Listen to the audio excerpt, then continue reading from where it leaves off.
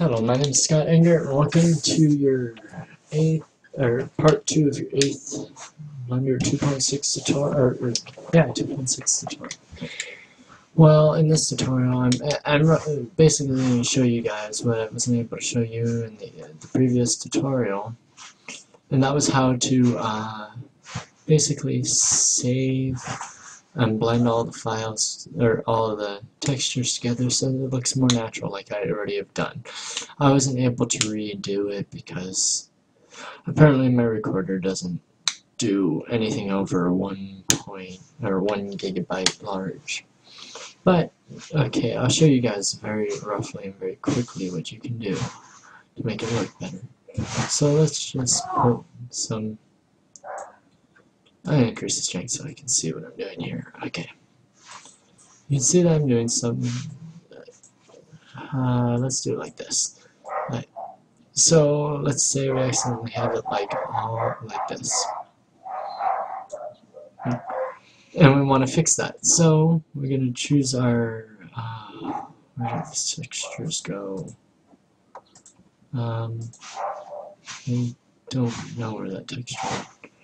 But, well, essentially what you're going to do is you're going to mix in the, the textures all together so that it looks more realistic.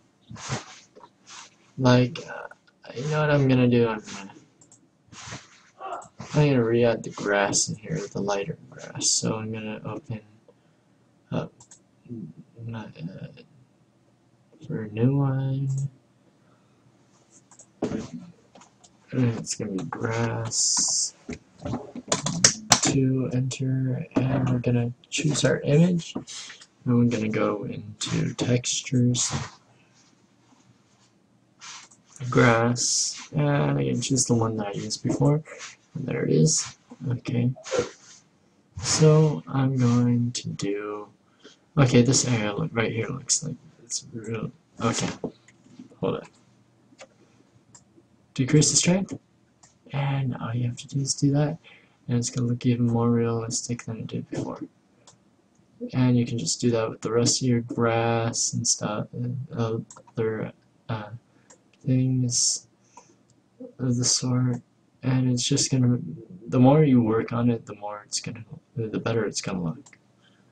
So, essentially, and when you're doing a mountain, it's not always all rock. So you might want to just add a little bit of uh, green to it to make it look like there's actually stuff on the mountain, like vegetation and such.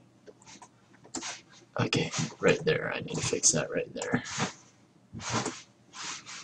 Okay, So add a little bit of there, cover up that, a little bit there too. There, okay, so essentially that's what you uh, are, all you need to know for this. And I hope you guys do learn something from me doing this. Um, let's finish this up right over here.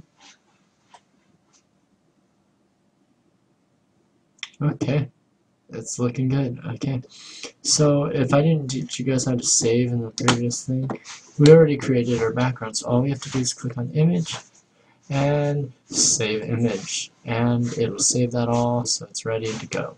And you can exit into object mode. And there's your lovely uh, world. All you have to do is press home to center it on the center of your uh, thing and it's all looking good. Okay well, I hope you guys learned stuff from these things. Thank you for watching. I'll see you guys in the next tutorial. Maybe we'll be doing some objects to put inside here. Thank you for watching. Have a good uh, day. Uh, bye.